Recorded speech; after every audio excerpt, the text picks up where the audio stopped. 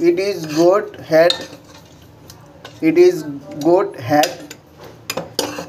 Is made with lots of masalas with goat.